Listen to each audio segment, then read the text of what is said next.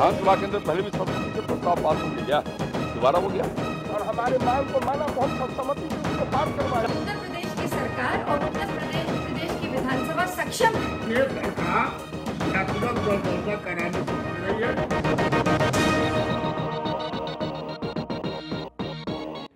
भारत में हर 10 साल में जनगणना होती है लेकिन साल 2011 में socio economic and caste census 2011 शुरू हुई। यूपीए टू में शुरू हुई जाति जनगणना एनडीए सरकार में साल 2016 में खत्म हुई।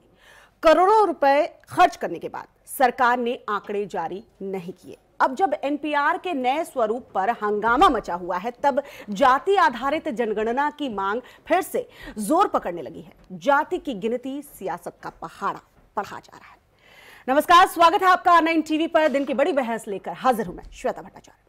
दरअसल बिहार विधानसभा में गुरुवार को जाति आधारित जनगणना कराने के लिए प्रस्ताव जो है पारित कर केंद्र सरकार से मांग की गई है कि 2021 की जनगणना जाति आधारित हो। बिहार के बाद यूपी में भी जाति आधारित जनगणना की मांग जो है वो उठने लगी है। ऐसे में सवाल उठता है कि जब 2011 में जाति आधारित जनगणना हुई तो उसके आंकड़े अभी तक पेश क्यों नहीं किए गए? और जब वो आंकड़े ही पेश नहीं किए गए तो दोबारा जाति आधारित जनगणना की मांग सियासत का पहाड़ा ही नज़र आती है। इसी के इर्द गिर्द आज हमारी चर्चा जो है वो रहेगी। तमाम गेस्ट हमारे साथ जुड़ेंगे लेकिन उससे पहले चलिए इस रिपोर्ट पर नज़र डाल लेते हैं। विधानसभा के अंदर पहले भी सर्वसम्मति से प्रस्ताव पास हो गया है। दोबारा हो गया हमारे मांग को माना तो हम सर्वसम्मति से उसको पास करवाए। तो बिहार में जनगणना के सवाल अब जाति से भी जुड़े होंगे। विपक्ष की मांग को मानते हुए नीतीश सरकार ने फैसला ले लिया है। सर्वसम्मति से पास हुए। इस फैसले के बाद तमाम राजनीतिक मुद्दों पर एक दूसरे के खिलाफ रहने वाले आरजेडी जेडीयू इस बार इस मुद्दे पर एक साथ खड़े हो गए। ये विधानसभा में पहले भी पारित हो चुका है। विधानसभा के अंदर पहले भी सर्वसम्मति से प्रस्ताव पास हो गया है। दोबारा हो गया इस पर हम लोग का समर्थन है। हमारा मांग था हमारे नेता आदरणीय लालू प्रसाद यादव का पहला मांग था बिहार में कि जनगणना जाति आधार पर होना चाहिए। यह हमारी जीत हुई है। बिहार सरकार के इस फैसले का असर यूपी में भी नज़र आने लगा। यूपी में विपक्ष की दो सबसे बड़ी पार्टियाँ, समाजवादी पार्टी और कांग्रेस ने विधानसभा में सवाल खड़े किए और यूपी सरकार से भी बिहार की तर्ज पर जातिगत जनगणना कराने की मांग की। एनपीआर में समाजवादी पार्टी ने पिछड़े वर्ग के लिए अलग कॉलम की मांग की है और कांग्रेस भी अब जातिगत जनगणना के सुर में ताल मिलाती दिखाई पड़ रही है। देश में पैंसठ पिछड़ा वर्ग की आबादी पैंसठ से भी अधिक ही है। और उसका कालमे नहीं। ये देश में पिछड़े वर्ग के साथ विश्वासघात है। हमारे राष्ट्रीय अध्यक्ष हमेशा इस बात को कहते हैं कि जातिगत जनगणना करा दी जाए। जैसे आरक्षण के नाम पर झगड़ा होता रहता है समाज में, पिछड़े में, दलित में। तो जिसकी जितनी संख्या हो, उसके हिसाब से उसको आरक्षण दे दिया जाए, कोई झगड़े न रहे। लेकिन ये सरकार जातिगत जनगणना कराने से भग रही है। निर्णय हमने इसीलिए लिया था कि केंद्र सरकार का ये इशू ज़रूर है, पर प्रदेश सरकार सदा अपने विधानसभा से ये प्रस्ताव भेज सकती है कि इसका संशोधन करने के लिए ये प्रस्ताव उत्तर प्रदेश की विधानसभा से प्रदेश सरकार केंद्र को भेजे। ये ये अधिकार विधानसभा उत्तर प्रदेश का है। अब सवाल ये उठता है कि बिहार में जेडीयू के साथ सत्ता में बैठी बीजेपी ने विपक्ष की बात को मानते हुए आसानी से फैसला कर लिया। जातिगत जनगणना की मांग को पूरा करने का फैसला लिया गया। महाराष्ट्र में भी जनगणना में जाति के नाम को शामिल करने की तैयारी चल रही है। इस सब के बीच सवाल ये भी कि 1931 के आंकड़ों के आधार पर पिछड़ी जातियों के लिए योजनाएँ तैयार की जाएँगी और ऐसे में अब जाति और जनगणना का सवाल बीजेपी के गले की फांस तो नहीं बन रहा। Bureau report R nine TV Uttar Pradesh, Uttarakhand.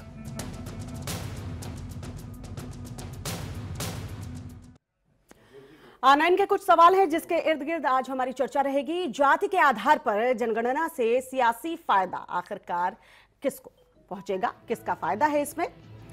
वहीं क्या बिहार की तरह यूपी में भी लागू होगा। जातिगत जनगणना जिस तरीके से मांग उठ रही है, अब सपा के लोग भी कह रहे हैं कि इस तरीके से प्रस्ताव जो है पेश किया जाना चाहिए। जाति के आधार पर जनगणना से नुकसान किसको होगा? फ़ायदा या नुकसान है भी या नहीं, इसे भी देखना होगा। 1931 के आंकड़ों पर कब तक बनाई जाती रहेंगी योजनाएँ। जी हाँ अभी तक जो आंकड़े हैं वो 1931 के ही हैं। उसी पर योजनाएँ जो है बनाई जाती हैं, चाहे वो S C S T OBC की हम बात कर ले, जो भी योजनाएँ बना जाती हैं। जनगणना में जाति को शामिल किया जाना कितना सही है?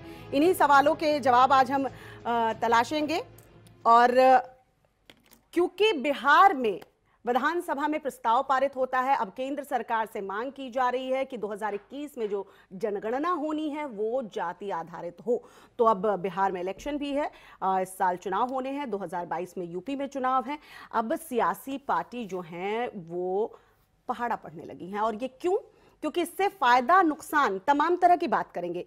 और आखिरकार जब 2011 में जो जनगणना हुई, उसे, उसका नाम दिया गया सोशियो इकोनॉमिक कास्ट सेंसस और उसके आंकड़े अभी तक जारी नहीं किए गए हैं।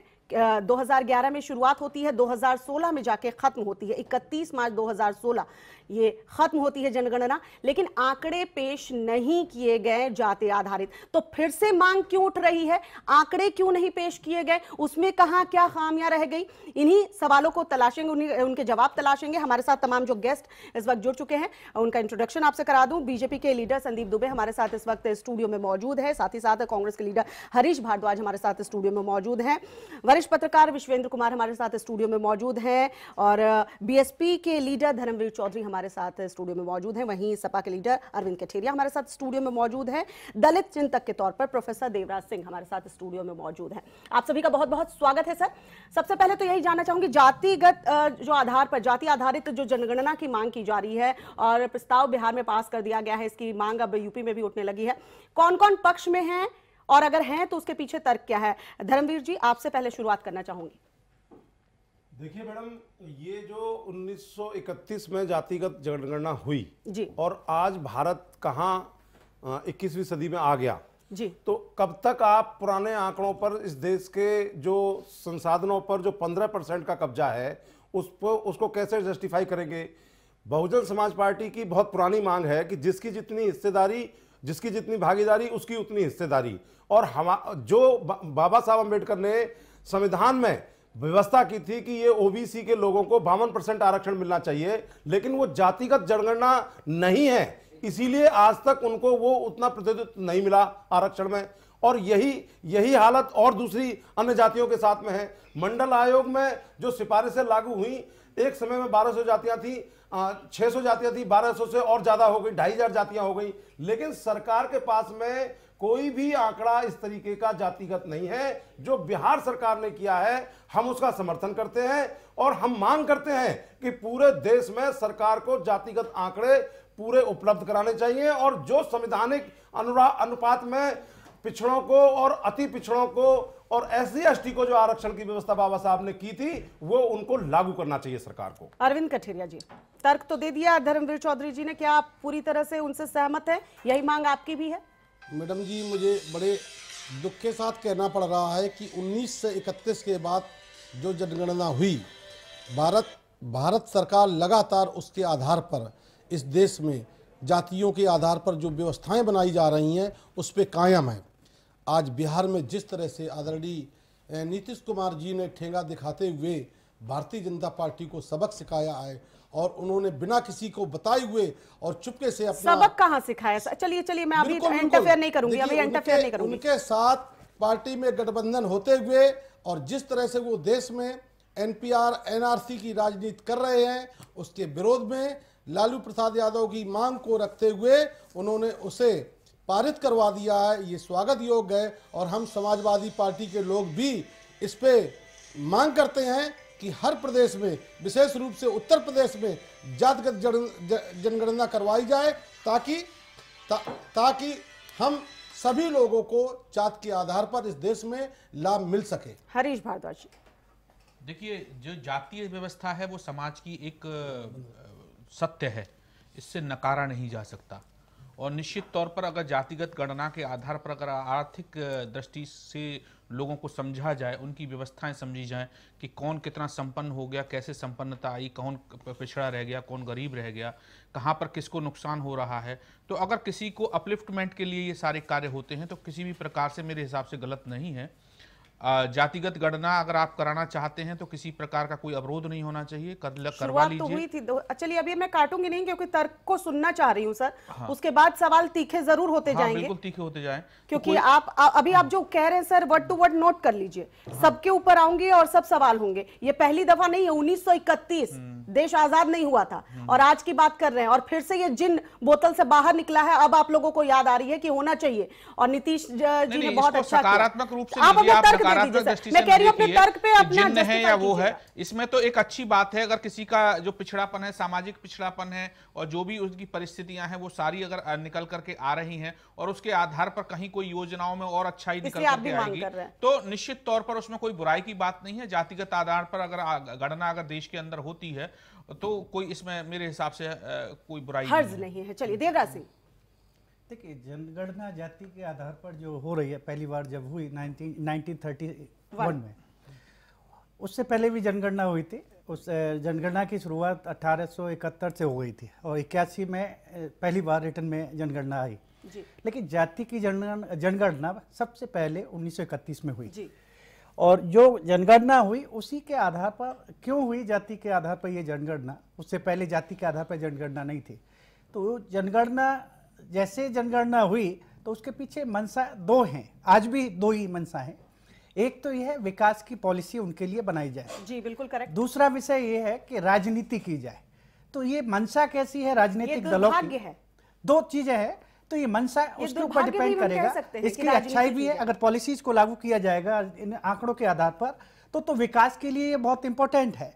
लेकिन जहाँ तक हम बात कर रहे हैं कि राजनीति करने की क्योंकि अभी तक हम जो भी राजनीति हो रही है 1931 के आधार पर हो रही है। जी। जैसे ही ये आंकड़े खुलेंगे तो यथा स्थिति सभी को मालूम होगी। यथा स्थिति जब सबको मालूम होगी तो सब गोलबंद होंगे। अभी बार्गेनिंग करने में आंकड़े जो दे रहे हैं सभी जातियाँ कभी बताती हैं अपने को बढ़ा चढ़ा के बताती हैं। घुसने की कोशिश गेम कर, तो गेम खेलने का टिकट लेने का और बहुत सारी चीज़ें हैं ये राजनीतिक फ़ायदा और नुकसान इसमें ज़्यादा देख रहे हैं। पॉलिसीज़ के विकास को अगर देखा जाए क्योंकि क्यों जनगणना की जा रही है? पॉलिसी किसके लिए बनाई जा रही है? तो उन पॉलिसीज़ को कैसे लागू किया जाए? उनके लिए ज़रूरी है। पक्ष में तो है ना सर। नहीं नहीं बिल्कुल पक्ष और विपक्ष में दोनों पक्ष कह रहा हूँ। मंशा के ऊपर है। मैंने पहले कह दिया मंशा पे मंशा। गवर्नमेंटों है। मंशा तो ये जो भी सरकार सत्ता में रहेगी उसकी मंशा पर डिपेंड करता है कि वो कैसे लेती है या विपक्ष में बैठे भी राजनीतिक दल इस चीज़ को कैसे लेते हैं इन आंकड़ों को कैसे लेते हैं क्योंकि आजकल आंकड़ों का ही खेल है। विश्वेंद्र जी पक्ष में है जातिगत जनगणना होनी चाहिए तर्क और जिस तरीके से प्रोफेसर देवराज जी ने कहा दोनों पहलुओं को दिखा दिया। और सही में इसी के इर्द गिर्द पूरी चर्चा ही घूमेगी। कि आज ही याद क्यों आ रही है और राजनीतिक पॉलिटिकल पार्टीज़ जो बात कर रही हैं जिस उत्थान की बात कर रही हैं वो कैसे घूमता है? कैसे इस, इसको पॉलिटिसाइज किया जाएगा? विश्वेंद्र जी। इसमें दो राय नहीं है कि जनगणना जाति आधार पर होनी चाहिए क्योंकि इस पे इसके होने से व्यापक प्रभाव होंगे बहुत बड़े लाभ होंगे बहुत सारा खर्च होता है आरक्षण के आधार पर। जी। और या कुछ योजनाओं को दिया जाता है। किसी अलग अलग वर्ग के हिसाब से। तो उसका ये नहीं पता हमें जो उसकी संख्या कितनी है तो संख्या पता होना हमारे लिए बहुत ज़रूरी है। संख्या का जानकारी होना हमारे लिए लाभ करेगा जिस प्रकार से योजनाएँ बनती हैं तो उसमें जनसंख्या की ज़रूरत पड़ती है। तो जाति के आधार पर उसका ज़्यादा और बड़ा लाभ होगा और इसके फ़ायदे होंगे। कई रूप में बताना चाहूँगा। अट्ठारह लगभग बहत्तर में पहली बार जाति के आधार पर जनगणना हुई थी। उसके बाद की बात कर रहे सर। 1931 में उन्नीस सौ इकतीस में होती रही उन्नीस सौ इकतीस तक लगातार होती रही। अठारह सौ बहत्तर में पहली बार हुई उसके बाद जाति नहीं थी जाति जाति नहीं नहीं रही हो। जनगणना जाति का जो आधार जोड़ा गया। इकतीस एक ही बार तो 2011 में एक ही बार जाति का आंकड़ा है। माफ़ी चाहूँगा सॉरी अठारह सौ बहत्तर से जनगणना शुरू हुई लेकिन जाति के आधार पर उन्नीस सौ इकतीस में हुई थी। उन्नीस सौ इकतालीस में भी शुरू हुई थी लेकिन वो कई कई चीज़ें बदल गई थी। दूसरे विश्व युद्ध के कारण कुछ स्थितियाँ बदली थी और पूरी नहीं हो पाई थी चीज़ें। उसके बाद अनुसूचित जाति और अनुसूचित जनजाति के आधार पर कुछ उन्नीस सौ इक्यावन में वो तो होती है लेकिन जाति के आधार पर नहीं है। तो उस समय देखे गए थे डाटे इसके लाभ और हानि। लेकिन आज जो परिस्थितियाँ हैं बहुत ज़रूरी है कि जनसंख्या का जाति के आधार पर जनगणना होना बहुत ज़रूरी है। आवश्यक है संजीव कौशिक होनी चाहिए तो तर्क दीजिए और इसके प्रोज एंड कॉन्स जो आपको लगता है? क्योंकि जवाब अब संदीप जी ही देंगे कि होगी या नहीं होगी। 2021 में जो गणना होनी है, वो कैसी होगी? एनपीआर में जो चीज़ें लागू की क्योंकि एनपीआर ही, वो जो स्वरूप है, उसी के लिए चर्चा जो इतनी चल रही है, उसको बदला गया है, उसको लेकर इतना हाय तौबा मचा हुआ है। उसके बाद अब ये जातिगत आधारित जनगणना की बात उठी है, जो बिहार से नीतीश कुमार ने इसको एक तूल दे दिया है। अब यूपी में भी मांग उठने लगी है। देखिए मेरा मानना यह है कि केंद्र सरकार जब कभी भी कोई योजना बनाती है तो आखिर उस योजनाओं का कितना प्रतिशत उस लाभार्थी के पास पहुँच पाता है? तो लाभार्थियों की प्रतिशत संख्या कितनी है? ये तो जानना ज़रूरी है। और दूसरी बात एक चीज़ और कि भारतीय राजनीति में जाति वो कोड है जो कभी निकलने वाला नहीं है इसमें से। आप इसको नहीं निकाल पाएँगे। जाति के आधार पर यहाँ पार्टियाँ बनाई जाती है जाति के आधार पर टिकट दिए जाते हैं जाति के आधार पर चुनाव लड़े जाते हैं। तो आप इस जाति को निकाल के बाहर नहीं फेंक सकती हैं। लेकिन कम से कम समाज हित में किसी जाति की बात यदि कर रहे हैं हमसे यदि ईमानदारी से आप पूछे तो 20 साल पहले या 30 साल पहले यदि मंडल आयोग की बात हो रही थी कमीशन की बात हो रही थी उस समय में था उसके पक्ष में था मैं। उस समय हम आ, आज हमसे कोई सवाल करे तो मैं मुझे खुद समझ में नहीं आता है मैं एक रिपोर्ट देख रही थी और उसमें यही बात कही गई थी जो आपने कहा था कि उस वक्त जब मंडल कमीशन लागू किया गया या मंडल कमीशन बनाने की बात थी तो कोई ऐसे ही जर्नलिस्ट थे वो कह रहे थे उस समय हम पक्ष में थे क्योंकि हमें लगता था ये लेकिन आज के दौर में शायद मैं इसके साथ ना खड़ा रहूँ। बिल्कुल बिल्कुल ये बिल्कुल सही है जिसने भी कहा वो बिल्कुल सही है कि परिस्थितियाँ यदि बदली हैं तो कैसे मान ले बदली हैं? कुछ स्पष्ट आंकड़े हैं आपके पास? किस मामले में बदली है? लगातार एक ही पैटर्न पे आप चलते चले आए तो कहीं तो इसका अंत होना है। लेकिन मैं बार बार कह रहा हूँ कि यदि ईमानदारी से अभी देवराज जी जो बता रहे थे बिल्कुल सच बता रहे थे कि आखिर इसके पीछे की मंशा क्या है? क्या वो वाकई उनको लाभार्थियों तक जो उनके हक हैं उनको पहुँचाने की उनकी कोशिश है? या सिर्फ़ या, अपने वोट बैंक को तलाशने की कोशिश ये महत्वपूर्ण मुद्दा ये है। आ, बाकी आ, सत्ता में बैठे लोग तो आ, कई बार इस तरह की बातें करते हैं और विपक्ष लोग कभी वो जब जो आज विपक्ष में है उनको जब मौका मिला वो नहीं कर पाए। आज जो पक्ष में है वो उनके ऊपर सवाल खड़ा करते हैं।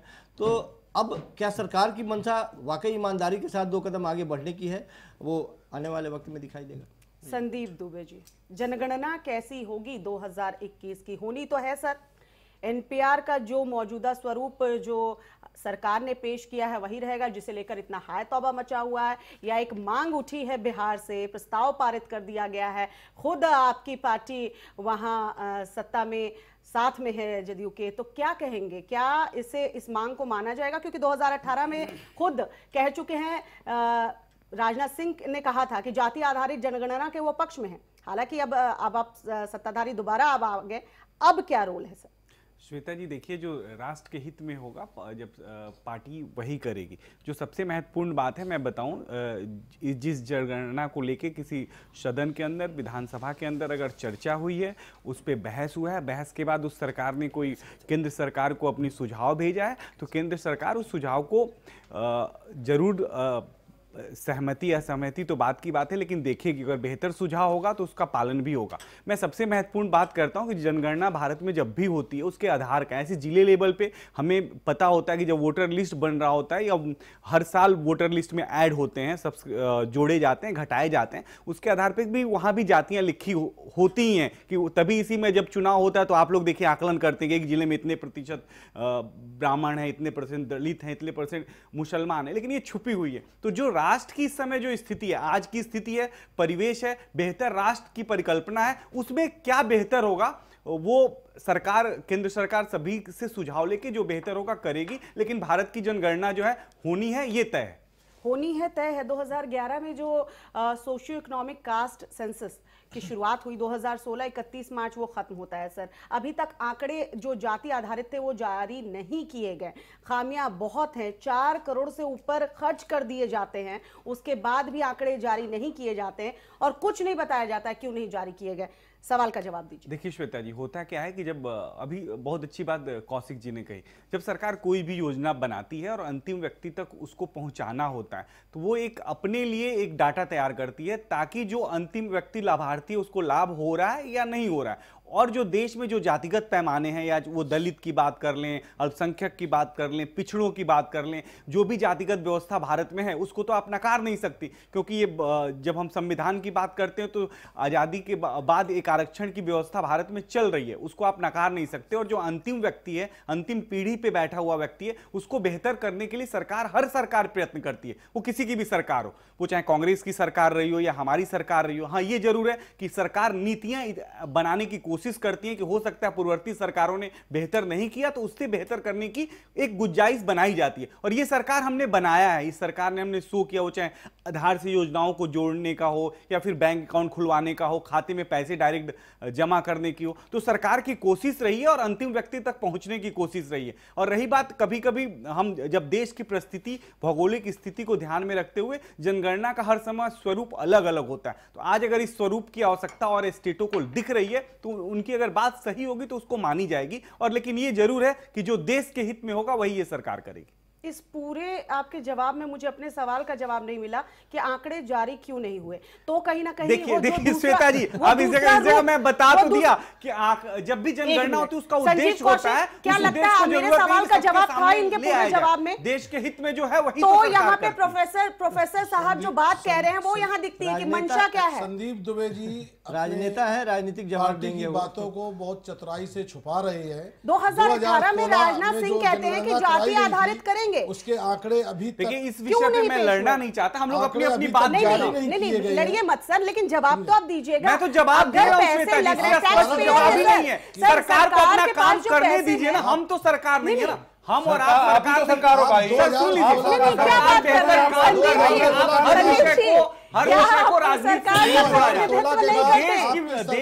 दुबे आपका डेजिग्नेशन क्या है सर आप सरकार का प्रतिनिधित्व नहीं करते। यही दिक्कत है। और हर विषय का राजनीतिकरण कर देते हैं और राजनीति को गलत ही मान के बैठे हुए अगर राजनीति जो करती है गलत ही करती है। एक मिनट जो प्रोफेसर साहब ने कहा कि दो पहलू हैं तो दूसरा पहलू मुझे ज़्यादा नज़र आता है सर। ये जो दो पहलू उन्होंने बताया कि एक तो विकास की योजनाएँ कैसे बनेंगी आप कह रहे हैं कि हमने तो अंतिम पंक्ति में जो खड़ा अंतिम व्यक्ति है उस तक कैसे चीज़ें पहुँचे इसके लिए हम काम कर रहे हैं। लेकिन आप आंकड़े अगर नहीं रख रहे हैं देश के सामने तो मंशा पे सवाल उठेंगे। 2011 के आंकड़े रखे नहीं जाते हैं। अब बात उठती है जब कि फिर से जाति आधारित जनगणना कराई जाए तो इसके पीछे सियासत नहीं है तो और क्या है बता दीजिए मुझे। जी ये सियासत नहीं है। हम लोग का समझने का नज़रिया अलग अलग है। हम लोग इस विषय को समझ नहीं पाते जब सोशियो इकोनॉमी रिफॉर्म के ऊपर कोई जनगणना हुई तो सरकार को पता इकोनॉमिक सरकार हाँ राइट। तो रिफॉर्म ही होगी ना कास्ट को ही तो रिफॉर्म करेंगे ना जनगणना थी सर 2011 की अच्छा जनगणना की बात कर रही हूँ इसका नाम तो ही हर स्टेट के अपने अपने हर स्टेट के अपने अपने रूल्स रेगुलेशंस के बाद एक केंद्र सरकार जो नियम बनाती है सब स्टेट उसको फॉलो करते हैं। उसके बाद एक डाटा बन के तैयार होकर आ जाता है केंद्र सरकार के पास। मंडल कमीशन ने मंडल कमीशन ने ये बोला था अपनी रिपोर्ट में मंडल कमीशन ने कहा कि हमें बहुत मुश्किल मुश्किल का सामना करना पड़ रहा है। हम मान के चल रहे हैं उन्नीस सौ इकतीस में जो चीज़ें उस समय जाति आधारित जनगणना हुई थी उसके आधार पर हम मान के चल रहे हैं कि बावन प्रतिशत बावन फ़ीसदी ओबीसी है। अभी हमने अपनी रिपोर्ट में दिखाया कि पैंसठ फ़ीसदी कह रहे हैं ओबीसी है। आज सभी जगह आरक्षण की आग लगी हुई है। सभी चाह रहे हैं कि हमें ओबीसी में भर्ती कर लो हमें भी वो आरक्षण मिल जाए। तो जाति आधारित जनगणना अगर 2011 में सेंसस इसी बेस पे हुआ है उसके आंकड़े नहीं दिए जा रहे और अब बात की जा रही है कि 2021 में जाति आधारित जनगणना कीजिए। वही सरकार एनपीआर की बात कर रही है जिसमें उन उन सवालों को रखा गया जिससे लोगों को आपत्ति है। तो क्या माना जाए? सियासत नहीं हो रही है तो क्या हो रही है? सियासत नहीं है श्वेता जी। देखिए इस देश की जो मूल भावना है वो है राष्ट्रीयता। राष्ट्रीयता को प्रदर्शित करते हुए अगर जनगणना हो रही है तो राष्ट्र के लिए जो आवश्यक है वो सरकार करती है। केंद्र सरकार या राज्य सरकार की जितनी योजनाएँ राज्य सरकार की भी अपनी योजनाएँ होती है। सभी योजनाओं को लेकर अंतिम व्यक्ति तक पहुंचाना ही सरकारों का लक्ष्य है। और जनगणना का जो आधार है वो ये नहीं है कि देश में हम आरक्षण दे रहे हैं या लोगों को बांट रहे हैं। जनगणना का आधार है सीधे सवाल का सीधा जवाब दे दिया राष्ट्रीय जानना कौन कौन जातियाँ उस आरक्षण में संदीप जी ये ना बीजेपी को अब ये चीज़ थोड़ी भूल जानी चाहिए कि राष्ट्रीयता राष्ट्रीयता राष्ट्रीयता कह के के हर चीज़ में तो राष्ट्रीयता की बात राष्ट्रीयता की बात क्या ज़रूरत नहीं है मंडल कमीशन की चीज़ों को लागू करने से पहले मंडल कमीशन बनाने से पहले क्या सरकार को ये नहीं चाहिए था? जो। हरीश भारद्वाज आज ये बैठ के कह रहे है, कि जो चीज़ अच्छी होनी चाहिए हरीश भारद्वाज। हरीश भारद्वाज मंडल कमीशन। मंडल कमीशन के समय क्या ये चीज़ें नहीं सोचनी चाहिए थी सरकार को? मंडल कमीशन ने अपनी रिपोर्ट में ये बातें कही हैं कि हमें बहुत मुश्किलात का सामना करना पड़ रहा है और उनके उनकी सिफारिश में ये भी था कि जाति आधारित जनगणना हो क्या आपकी सरकार नहीं रही उसके बाद? कितने साल तक आपने राज किया सर? लेकिन उसके बाद भी आपने ज़रूरत महसूस नहीं की। आज यहाँ स्टूडियो में बैठ के आप कह रहे हैं कि होनी चाहिए क्योंकि आपका वोट बैंक है क्योंकि आपको लग रहा है कि बिहार का इलेक्शन नज़दीक है यूपी का इलेक्शन नज़दीक है उत्तराखंड का इलेक्शन नज़दीक है तो हम इसके खिलाफ कैसे बोल दे? नहीं देखिए चुनावों से इसको जोड़ना ठीक नहीं है। इसमें जो चुनावों से तो सब कुछ लेना है सर आप लोगों को। देखिए उसके 2011 में मिलते कहाँ हैं? जो भी जनगणना होती है वो कालखंड परिस्थिति के हिसाब से होती है। सर भारी भरकम शब्द बोल के ना हमारे दर्शकों को ना कंफ्यूज मत कीजिए। कालखंड की परिस्थितियों पे कोई नहीं समझेगा सर दर्शक। सर इतने इतने गोल गोल जवाब कालखंड समझा इतने देता हूँ। लच्छेदार आज सब संभले हुए शब्द बोल रहे हैं। परिभाषा समझा देता हूँ। कालखंड बताइए जरा समझाइए सर दर्शकों को समझाइए कालखंड की क्या सरकार पूर्ण में परिस्थितियों को कालखंड का देख के मतलब होती ये है? है हाँ समझाइए। श्वेता जी कालखंड ये जो बता रहे हैं हरीश जी जब देश आज़ाद हुआ और भारत में आम आदमी को उसके संवैधानिक अधिकारों के लिए कानून बना तो बाबा साहब अंबेडकर ने कहा कि भाई ओबीसी को जो है आप बावन परसेंट आरक्षण दीजिए, उसके लिए काका कालकर आयोग बना उन्नीस सौ चौवन में। लेकिन कांग्रेस की तत्कालीन सरकारों ने उस काका कालेकर आयोग की रिपोर्ट को रद्दी की टोकरी में डाल दिया। इसे कहते हैं कालखंड। और ये काल के काल में समा गए और सत्ता से बाहर हो गए। अब वही काम बीजेपी कर रही है, जो भारत के आम नागरिक के संवैधानिक अधिकार हैं, जो संविधान में उन्हें मूलभूत अधिकार दिए गए हैं आरक्षण के तहत, उनका संवैधानिक रूप से वो पालन सरकारें नहीं कर रही हैं। उनको उतना उनको प्रतिनिधित्व नहीं मिल रहा है। ये सरकार जो है, पंद्रह परसेंट लोगों को सत्ता की चाशनी खिला रही है। और बाकी लोग जो है सत्ता के लिए लालायित होकर विषय विषय हैं। चाशनी शब्द से है। चाशनी शब्द आप कैसी भाषा का प्रयोग करते हैं? हाँ, ये पंद्रह परसेंट लोग सत्ता पे कब्जा करके बैठे हुए हैं। पंद्रह परसेंट लोग सत्ता पर कब्जा करके बैठे हुए हो। पंद्रह परसेंट लोगों ने सत्ता पर कब्जा कर रखा है। संदीप जी और ये जो पंद्रह परसेंट लोग हैं ये जो पंद्रह परसेंट लोग हैं ये नहीं चाहते। ये पंद्रह परसेंट लोग नहीं चाहते बावन परसेंट लोग जो है। उनको सत्ता में कांग्रेस पैदा करने का काम सत्ता है। जुड़े का बावन काम राजनीति का आपने आप एक दूसरे को द्वेष मत पैदा करें। आप भाव को पार्टी भी कर बेहतर रहने दें। और जो भी जनगणना होगी जो भी जनगणना होगी हित में होगी। की सरकार देश के हित में होगी। ये बीजेपी कांग्रेस नहीं की सरकार नहीं है देश की सरकार है। इसको इसको आप बीजेपी कांग्रेस में कह के आग न लगाएँ। प्लीज़ आग न आप तो ऐसे कह रहे हैं जैसे सत्ता में आप है। ही नहीं सत्ता में जो रहेगा उसी से। मैंने हरीश भारद्वाज जी से तो हरीश भारद्वाज आपने कहा कि जो राष्ट्र हित में होना चाहिए मैं उसके साथ हूँ और अगर इस तरह की मांग उठ रही है होना भी चाहिए क्योंकि डेवलपमेंट की जो भी योजनाएँ बनेंगी वो उसी डेटा को आधार इतने सारे इतने सारे देश में राष्ट्र पिछड़ा वर्ग आयोग है पिछड़ा वर्ग डेवलपमेंट फंड है राज्यों में पिछड़ी जातियों के लिए मंत्रालय बने हुए हैं ये सारे जो आंकड़े यूज़ करते हैं वो 1931 के। कहाँ है सर? कितने साल आपने राजनीति की है? और आप आज बैठ के स्टूडियो में यहाँ बोल रहे हैं भोली भाली जनता को कालखंड परिस्थिति। अरे समझाइए जरा कालखंड परिस्थिति मुझे हाँ, समझा दीजिए। मैं मैं आपसे यही कहना चाह रहा हूँ कि जैसा जिस परिस्थिति के हिसाब से निर्णय होता है सरकार करती है। और उनकी बेहतरी के लिए समाज के समाज की बेहतरी के लिए समाज की बेहतरी- समाज के जिस वक्त? देखिए सुनिए जिस वक्त मंडल कमीशन 1999 में बीपी सिंह साहब ने मंडल जिस वक्त मंडल-। और दूसरी बात देखिए आज जो उन्नीस सौ समय ये 1947 चीज़ें नहीं में उन्नीस में थी, मंडल कमीशन की 1947 रिपोर्ट में में जो अनुसूचित जाति जनजाति की जो स्थिति थी सर। जो 1947 में अनुसूचित जनजाति की स्थिति थी और साथ में जो पिछड़ों की स्थिति थी निश्चित तौर पर उसमें सुधार आया है। लेकिन सुधार उतना तो सुधार नहीं आया है जितना सुधार होना चाहिए नहीं नहीं डेटा बता दो सर सुधार तो आप लोग आंकड़ों में बहुत खेलते हैं आप लोग बिना लेकिन उतना सुधार नहीं, नहीं नहीं, आया। अभी तो आप उनकी हैं।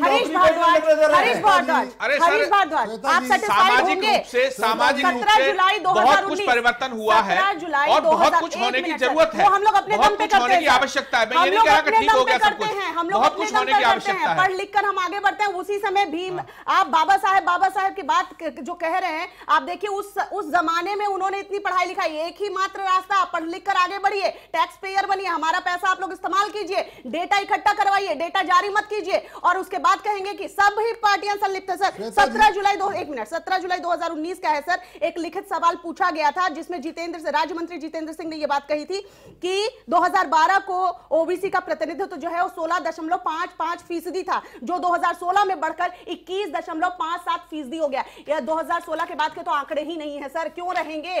क्योंकि 2016 में तो आपका जनगणना का कंप्लीट हो चुका था, आपने आंकड़े ही नहीं पेश किए। तो ये ये बढ़ गया, सर। आपके अकॉर्डिंग बढ़ गया। सोलह सोलह फ़ीसदी के लगभग से इक्कीस समथिंग चला गया। तो ये तो प्रतिनिधित्व तो बढ़ा है ना, सर? तो आपको बीजेपी को अप्रिशिएट करना चाहिए। श्वेता जी क्यों हरीश जी? अप्रिशिएट करेंगे? को अप्रिशिएट करने की ज़रूरत नहीं है या नहीं, किसी आप को कह रहे हैं करने की आप आवश्यकता कह नहीं रहे है। ये देखिए सुनिए जो जातिगत आरक्षण की बात है वो कांग्रेस पार्टी ने इस देश के लोगों को दिया था। और आगे भी बढ़ेगा।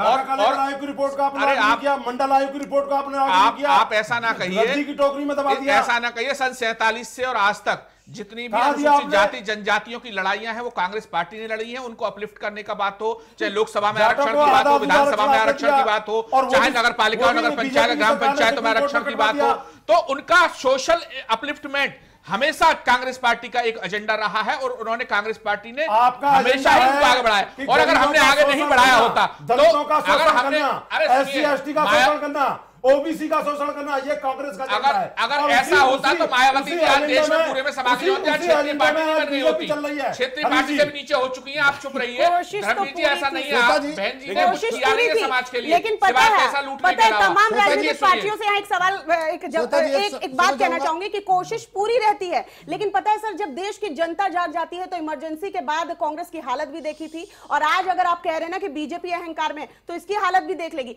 जनता जब जाग जाती है ना सर तो पा- तमाम पार्टियाँ ना मैं ये नहीं समझ रहा साइड डाउन हो जातिगत जाती है आधार पर श्वेता की बात चल रही है तो आप अगर आप सारी बताइए ना मंडल कमीशन की सिफारिश के बाद क्यों नहीं ये बात की गई? लड़ाई उन्नीस की बात इकतीस की है। श्वेता जी, नहीं, मंडल कमीशन के बारे क्यों नहीं सोचा अगर कुछ कमी रह गई तो उसका सुधार किया जाना चाहिए और कमी रह गई कमी रह रह गई गई हो तो क्या बात कर रहे हैं समाज के आंकड़े बता सिफारिशें देता लागू करनी चाहिए जैसे बच्चे का वक्त आंकड़ा बीतता बता जाता है, देता वैसे हूँ। समाज में सुधार होता जाता है प्रोफेसर साहब आपको लग रहा है कि जो बात कह रहे हैं हरीश भारद्वाज जी उसमें जरा भी दम है? जब सिफारिश की गई जब मंडल आयोग बना और उसके बाद सिफारिश लागू की गई उस समय से लेकर अभी तक सर अभी तक आयोग खुद कह रहा है कि उन्हें बहुत मुश्किल आ रहा है उनके पास डेटा नहीं है कैसे करेक्ट चीज़ें बनाई जाए। और आज देखिए ये ये जवाब मिल रहा है कि हमने अपलिफ्ट किया है। अभी भी अभी भी आगे सुन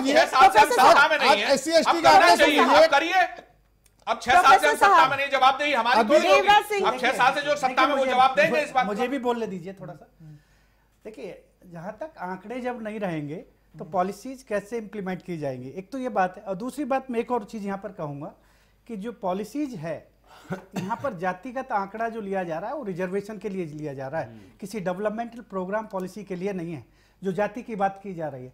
और जाति का जनगणना हो भी चुका है 2011 में। तो दोबारा कराने की कोई ज़रूरत भी नहीं है। 21 में कैसे आंकड़े जोड़ा नहीं दे रहे ना तो ये जो आंकड़े डिमांड नहीं आंकड़े नहीं आंकड़े आ गए आंकड़े आंकड़े हैं। है। सरकार को ओपन कहीं कोई आंकड़ा नहीं सरकार दे है आपने कहा 2016 तक सभी हो चुका है। तो 2016 तक सरकार के पास आंकड़े का आंकड़ा दे तो जब आंकड़े बन चुके हैं दे गवर्नमेंट इसे किस तरह से खर्च करेगी? एक बार आंकड़ा आ गया। और ये बोलने स्टेट तो दे दो, भाई कोई बोल रहा है, अच्छा, अच्छी भी बात बोल रहा है, सिफारिश का अधिकार है। अपनी लेकिन रार- देवराज सिंह अपनी बात कह रहे हैं सेंटर है वही डिसाइड करेगा कि जनगणना 21 में की जाएगी नहीं की जाएगी। रिकमेंड सिफारिश कर सकता है कोई भी स्टेट कर सकता है। तो बिहार ने जैसे की यूपी भी कर सकता है सारे स्टेट करते हैं। अभी जैसे सीडब्ल्यू का विषय है तो बहुत बहुत से स्टेटों ने भेजा है। सेंटर को। लेकिन सेंटर बाध्य नहीं है। सेंटर जो डिसाइड करे वो अपने हिसाब से करेगा। लेकिन मैं यहाँ पर ये कह रहा हूँ कि 2011 में जब जनगणना हो चुकी है हमारे पास 21 की 31 की जनगणना के आधार पर बात कर रहे हैं तो अब आ, हमारे पास आंकड़े तो हैं।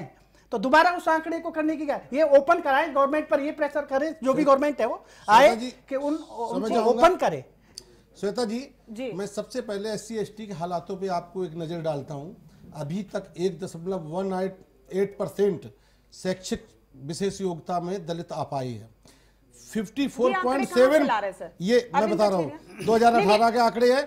चौवन दशमलव इकहत्तर परसेंट एस सी के हैं? के ऐसे लोग हैं। कर भारत के जिनके पास एक गज ज़मीन नहीं है कर सकती सुनिए। मुझे पहले आप बताइए ये आंकड़े कहाँ से आप दे रहे हैं? मैं मैं बता रहा हूँ आप पहले सुनिए। नहीं नहीं नहीं, नहीं आप आप खुद के आंकड़े थोड़ी ना पेश 89% करें। भारत में ऐसे लोग हैं कहाँ से आंकड़े? अगर मैं आंकड़े यहाँ देती हूँ पाँच तो हज़ार से कम आया है। सर मैं। इसकी गारंटी लेती हूँ मेरी रिसर्च टीम है और मैं आंकड़े सरकारी देती हूँ। आप आंकड़े दे रहे हैं तो आप बताइए कि आपने कहा ये आंकड़े इकट्ठे किए हैं जो आप बोल रहे हैं कि कंडीशन से लेता हूँ आंकड़े और से? उठा के देख लीजिए निकालिए आंकड़े समझे? 54.71 कचेरिया जी, परसेंट दलित लोगों के पास एक गज ज़मीन नहीं है और लगातार जब- लोग से कांग्रेस सरकार जी माफ़ कीजिएगा। 40 ट्रोल हो साल सर। इन्होंने ट्रोल हो जाते हैं लोग सर। आप चालीस वर्ष इन्होंने आरक्षण को छुपा के रखा। आज भी जातगत जनगणना का सीधा संबंध तो- आरक्षण से है। ये लोग आरक्षण को छुपाना चाहते हैं।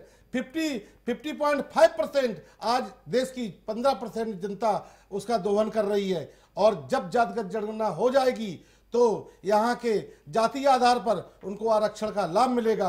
आज ये भारतीय जनता पार्टी और कांग्रेस पार्टी के लोग इसलिए घुमा घुमा के बात कर रहे हैं। देखिए कांग्रेस पार्टी हो जी, गया? डे वन से इस बात से सुनिश्चित पूरा है, करके आया ठीक कीजिए प्रकार से अरविंद अरविंद जी बताना चाहता मैं इसलिए कि करती हूँ आप देखिए कभी कभी ट्रोल हो जाती है मैं नहीं चाहती ट्रोल हो अनुसूचित जातियों के मैं नहीं चाहती ट्रोल हो संजीव कौशिक संजीव कौशिक पार्टी पीछे नहीं क्या है ये सियासत नहीं हो रही तो क्या है? पहली बात तो ये बताइए जातिगत जनगणना न कराने का नुकसान क्या है? समझाइए जरा। ताकि ताकि समझ में तो आए कि ये ये सियासत कर रहे हैं केवल गूगल के आंकड़े अरविंद कठेरिया बोल रहे हैं बताइए मैडम सबसे बड़ी बात के है और मैं आपको अभी- के तहत आपको दिखा दूँगा।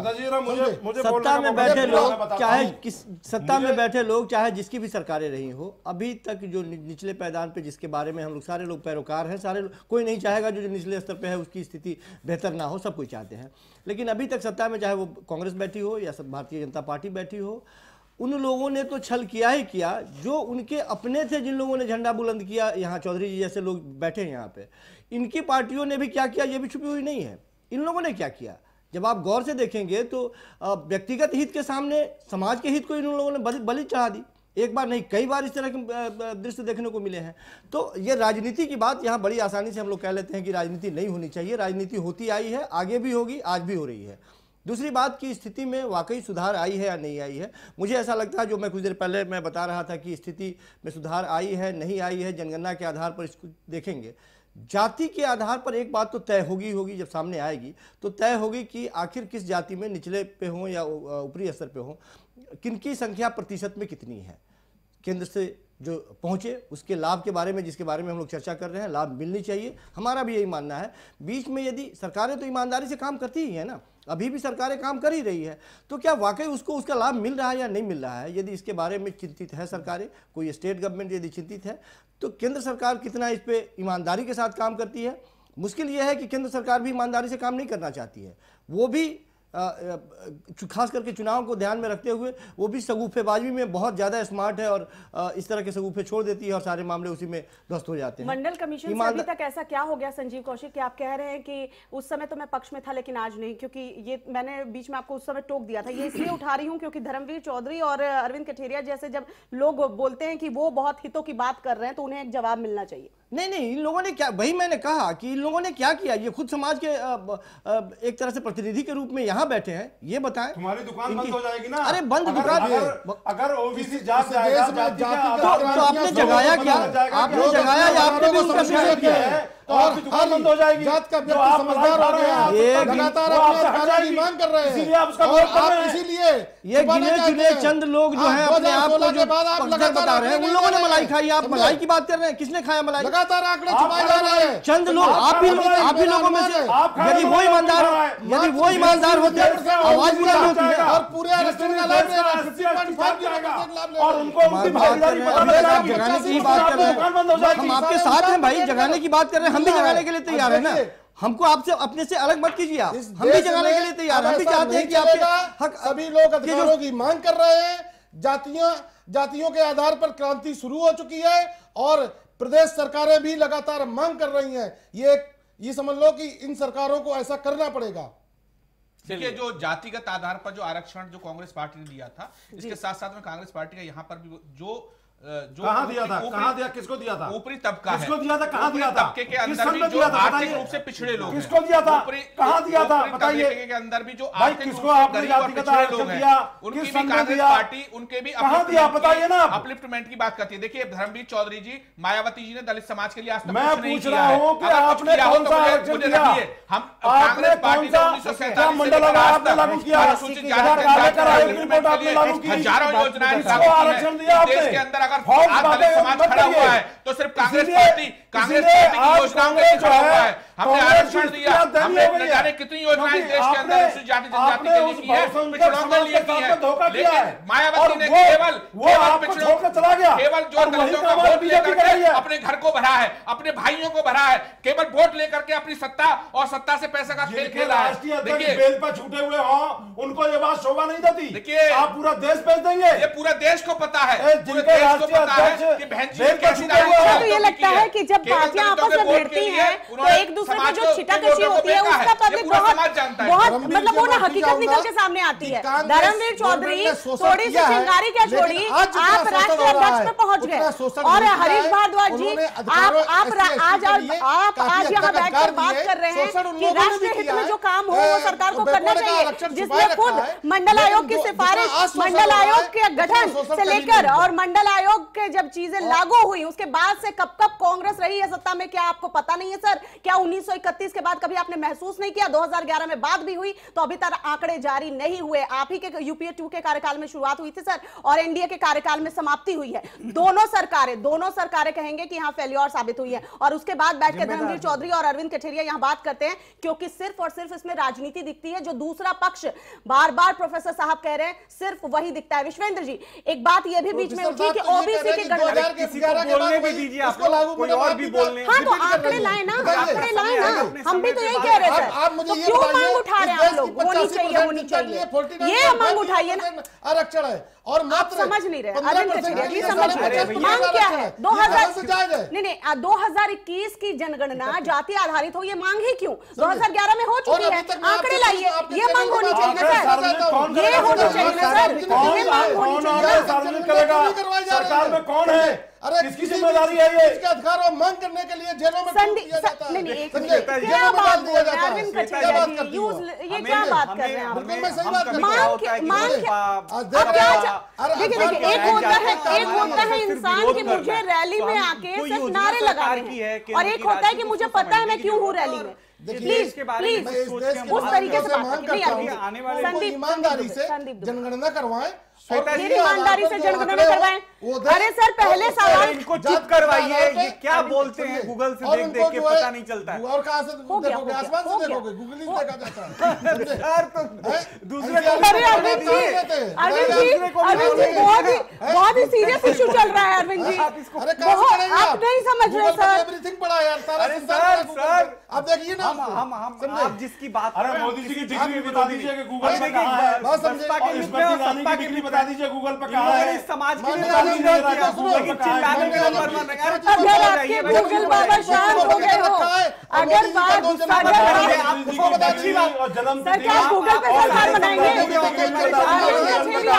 परेशान ना होइए परेशान संदीप दुबे संदीप दुबे संदीप दुबे अभी सार्वजनिक नहीं की गई हैं चीज़ें खामियाँ अगर निकालूं सर तो वो भी आंकड़े अगर आप चाहेंगे तो पढ़ दूँगी वो आंकड़े भी कि कितनी खामियाँ निकली हैं 2011 से जो शुरू हुई इसीलिए सदन बना हुआ है संसद बना हुआ है और संसद सदस्य किसी भी विषय पे चर्चा करते लेकिन फिर राजनाथ सिंह इस तरह की बात 2018 में करते हैं ये क्या तो है? कुछ कुछ टीवी चैनल डिबेट में चर्चा नहीं हो जाएगी। उसके तो अधिकार के लिए काम तो करने दीजिए। वो इस पे चर्चा कर लेंगे और देश के लिए जो बेहतर होगा जवाब तो दीजिए आप दार्शनिक अंधार बात कर रहे हैं? संदीप जी चिल्लाने से तो नहीं होगा। आप तो बसपा को भी नहीं छोड़ते सपा को भी नहीं छोड़ते कांग्रेस को भी नहीं छोड़ते भाजपा को भी नहीं छोड़ते। अच्छी बात है ना संजीव कौशिक जिस बैठे हैं उन्हें तो घेरना ही है सबको। नहीं नहीं आप मुझे एक बात बताइए आप मुझे एक बात बताइए। अभी प्रोफेसर साहब ने कहा कि सार्वजनिक करनी चाहिए जब जनगणना हो गई है और इतने पैसे खर्च होते हैं सर जो टैक्स पेयर के होते हैं। सरकार के खजाने में जो भी पैसे हैं वो किसके हैं? वो टैक्स पेयर के हैं टैक्सेस से आपको मिलते हैं। अगर चार करोड़ से ऊपर की राशि खर्च की गई है 2011 में सोशियो इकोनॉमिक कास्ट बेस्ड जनगणना की गई क्योंकि इतने दिनों से मांग उठ रही थी। तमाम राजनीतिक दल में ये बातें उठी थी और इस, इसके लिए सर्वे कराया गया। आंकड़े हैं सार्वजनिक नहीं किए जा रहे। तो सार्वजनिक क्यों नहीं किए जा रहे हैं? और दो की मांग क्यों की जा रही है कि दो में? और इसके बीच राजनाथ सिंह अगर दो हज़ार अठारह में ये कहते हैं कि हम करेंगे तो दो हज़ार उन्नीस का चुनाव साधने के लिए? नहीं देखिए श्वेता जी ये विषय हम लोग को थोड़ा सा और गंभीरता से सोचते हैं। और कांग्रेस के लोग और एक हमारे बड़े भाई जो है बसपा के ना बोले तो। हम किसी विषय पे नहीं जाते। इस देश में क्या इस तरह होना चाहिए कि नहीं पे? हम लोग खुद ही दिल पे हाथ रख के ये सोच मैंने देखिए हमारी सरकार जैसे मित्र लोग कह रहे हैं हम आरक्षण विरोधी हम हमने हमने तो आरक्षण को बचाया बाबा मोहन भागवत तो इस देश के आरक्षण को खत्म करना चाहते हैं। अब ये देखिए चले गए? कहीं करो बीजेपी का बसपा तो के बार बार जो है स्टेटमेंट बार बार स्टेटमेंट तो होते हैं। खत्म कर दिया जाए। क्यों कर रहे हैं? बता तो संविधान उनको इजाज़त नहीं देता।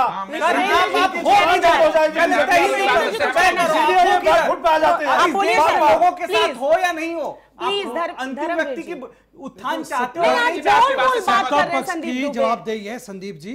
सत्ता पक्ष की जवाबदेही है। सत्ता को ये करना चाहिए। 2011 से जो लड़ना हो रही है दो हज़ार नहीं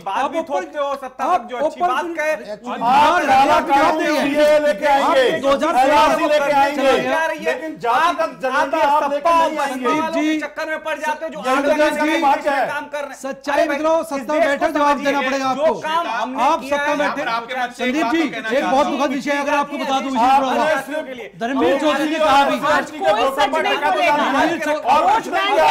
प्रधानमंत्री है। वोट बैंक का नुकसान कौन होने दे सकता है सारी राजनीति इसी के इर्द गिर्द घूम रही है। विकास करना होता तो कब का कर लिए होते सर? संदीप जी धर्मवीर चौधरी जी एक बात कही। संदीप जी कृपया। संदीप जी कृपया प्लीज़ सुने। धर्मवीर चौधरी ने एक बात के उस पर ध्यान दे। धर्मवीर चौधरी ने कहा डाटा न होने के कारण से उन्नीस इकतीस से लेकर आज तक का दिक्कतें आ रही है। उसी आधार पर अस्सी साल से भी ज़्यादा हो चुके हैं। उसी आधार पर आज भी हम फैसले ले रहे हैं। दूसरी बात सुने। आप दूसरी बात सुने। कांग्रेस ने दिया जाति को।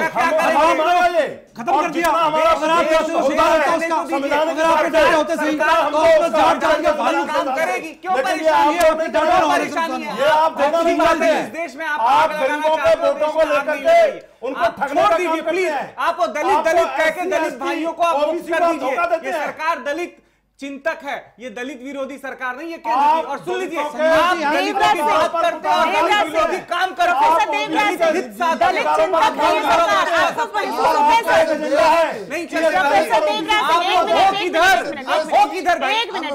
देखिए आप चाहते नहीं हो। देश में कुछ अच्छा रख पाएँगे।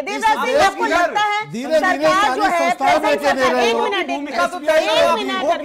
मिनट जवाब दो सही जवाब जवाब नहीं है आपके पास बचा क्या है एक मिनट बोल रहे ना दलित चिंतक है। बैठे ना हमारे बीच। प्रोफेसर साहब आपको लगता है कि प्रेजेंट सरकार या जो भी पुरानी सरकार रही है क्या ये दलित चिंतक लगती है जिस तरीके की चीज़ें हो रही हैं जब आंकड़े हैं सरकार के पास जारी नहीं किए जा रहे हैं तो क्या माना जाए कि सरकार की मंशा ठीक है? देखिए सरकार की मंशा मैं दलित की बात नहीं कर रहा ये जातिगत आंकड़ा सभी के लिए है। ओबीसी इसमें आ रहा है जनरल भी आ रहा है सभी की जातिगत जब आंकड़ा आ रहा है तो सभी के लिए आ रहा है। जहाँ तक बात आ रही है कि मैंने पहले कहा है कि पॉलिसीज़ किसके लिए? अब जहाँ बात होती है रिजर्वेशन की। तो रिजर्वेशन कितना है? कितने सेक्टर बच रहे हैं जहाँ रिजर्वेशन मिल रहा है? हाँ, निश्चित तौर पर। दूसरी बात ये आती है इससे ये होगा मैं एक चीज़ बता रहा हूँ यहाँ पर आगे की जो बात होगी जो पॉलिसीज़ हैं गवर्नमेंट की डेवलपमेंटल प्रोग्राम एंड पॉलिसीज़ और जो उसके डेवलपमेंट के जो बजट आता है उसके आधार पर लोग वहाँ सोचेंगे कि विकास के लिए हमें बजट में स्थान दिया जाए। अब सरकार के पास नौकरी के पास कुछ बचानी नौकरियों के लिए। नहीं कर रही है, पता नहीं ये जो लड़ रहे हैं राजनीति की लड़ाई होती है जाटा के आए हैं, आप हैं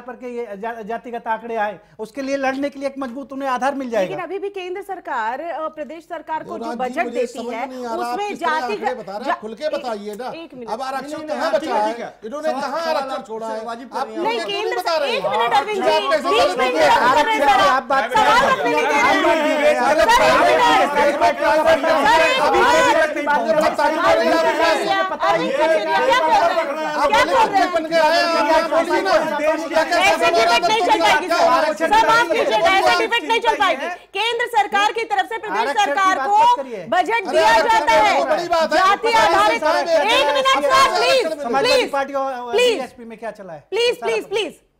केंद्र सरकार आ, स- प्रोफेसर साहब आप जो बात कर रहे थे मैं उसी पे कोट कर रही हूँ कि केंद्र सरकार की तरफ़ से राज्य सरकार को पैसे दिए जाते हैं लेकिन क्योंकि आंकड़े नहीं हैं तो वो एक सभी लोगों का ओवरऑल करके वो पैकेज दिया जाता है लेकिन वो फंड जो होता है वो जातियों के लिए ही जो जो ये मंत्रालय बने हैं जो ये रन कर रहे हैं जिसको मैंने पढ़ा कि राष्ट्र पिछड़ा वर्ग बना है आयोग बने हैं उनके लिए दिए जाते हैं सर। आंकड़े नहीं है बस अंदाजन दिया जाता है सुनिए क्या बात कर रहे देखिए सुनिए मैं बता रहा हूँ। स्थिति में नहीं है। वो बोल भी नहीं पा रहे हैं। सरकार चलाए हुए लोग हैं का डाटा हर 10 साल बाद इस तरह की इंक्लूड होता है। है। एस टी एस सी की जनगणना होती है हर दस साल में।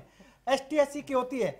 ओबीसी की अदर कास्ट की जनगणना नहीं है। अब आए सेंसस में आता है एस टी एस सी का जनगणना होती है। एस सी एस टी की होती है ओबीसी की नहीं है। और संजीव कौशिक संजीव ओबीसी ओबीसी अगर हम पिछले साल 2014 से देखें अगर हम एक जनता पार्टी की सरकार धीरे धीरे एक जो सरकारी संस्थान थे सरकारी उपक्रमों को बेचने का जो सिलसिला चल रहा है इस प्रकार से प्राइवेट करती जा रही है। तो हम ये मांग करते हैं कि ये प्राइवेट सेक्टर में भी रिजर्वेशन दें। और उनके नहीं होगी उनको आगे बढ़ाने का प्रयास करें। जब बच्चा होगा धीरे धीरे धीरे धीरे आरक्षण स्वतः खत्म हो जाएगा क्योंकि यहाँ। पर प्राइवेट सेक्टर में आरक्षण देखते चले जा रहे हैं। एक लाला मालिक होता चला जा रहा है एक उद्योगपति को फ़ायदा पहुँचाने के लिए सारे सेक्टर में प्राइवेट जा रहे हैं तो रिजर्वेशन की तो बात ही खत्म हो जाएगी।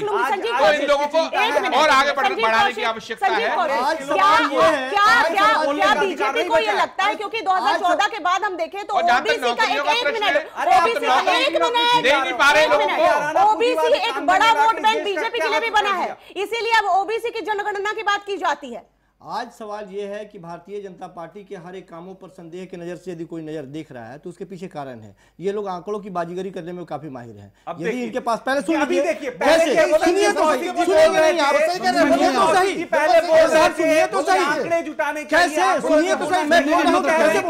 यही है चित भी मेरी पट भी मेरी। ऐसे अभी आप पे आरोप लगाया गया अभी आपको बताया गया कि आपने आंकड़े नहीं रखे। कोई जवाब नहीं दिया आपने। ये करे तो भी गलत वो करे तो भी सोलह हज़ार सोलह आंकड़े आपने नहीं रखे। आपने आंकड़े नहीं रखे इसके बारे में। आग लगाने का काम बंद करें। अधिकार आग कहाँ लग रही है? ये इसमें कहीं आग लग रही है। अरे इसमें आग लग रही है। आप लोग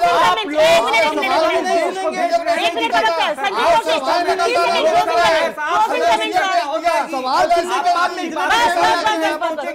सवाल करना मुझे मुझे शो वाइंड अप करना मुझे शो वाइंड अप करना अरविंद कठेरिया आप कंटिन्यूअसली बोल रहे हैं सर मुझे शो वाइंड अप करना है। प्लीज़ पॉजिटिव कमेंट के साथ मैं वाइंड अप करना चाहती हूँ। Sanjeev Kaushik closing comment thirty second में होना क्या चाहिए सर 2011 सुझाव में जब हो चुका है सुझाव दीजिए सर मैं यही कह रहा हूँ कि सरकार ईमानदारी से काम करना होना चाहिए। मेरा मानना यही है की जातिगत जो जनगणना है वो होना चाहिए एक आंकड़े निश्चित तौर पर आने चाहिए सामने।